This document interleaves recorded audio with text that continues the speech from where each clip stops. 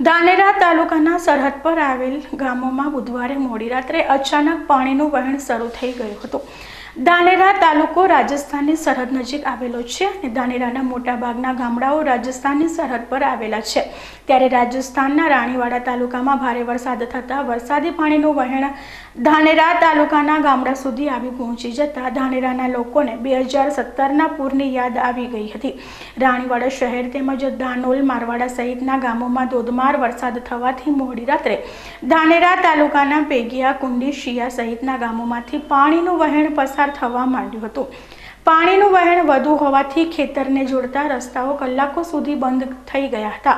એક તરફ ધાનેરા તાલુકાના લોકોમાં પાણીના આ પ્રવાહને લઈ ભય જોવા મળ્યો હતો, તો બીજી તરફ પાણીની તંગી સહન કરી રહેલા ધાનેરા તાલુકાના ખેડૂતોમાં આનંદ છવાઈ ગયો હતો.